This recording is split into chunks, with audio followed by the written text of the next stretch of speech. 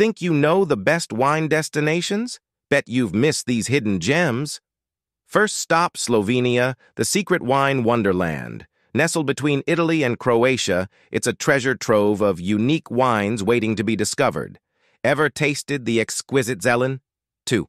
Georgia, the cradle of wine, where wine was born over 8,000 years ago. Dive into the rich history with every sip of their ancient Qvevri wines.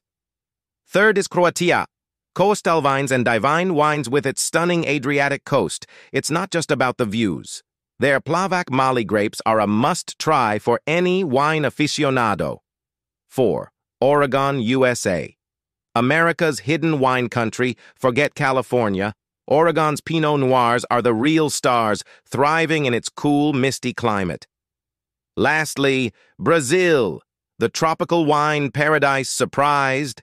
Its Vale dos Vinhedos is a wine lover's paradise, blending Italian heritage with exotic Brazilian flair. These spots are not just about wine, they're about epic experiences. From ancient cellars to picturesque vineyards, each sip tells a story. Ready to explore these hidden wine heavens? Follow for more undiscovered wonders. And don't forget to share your favorite wine destination in the comments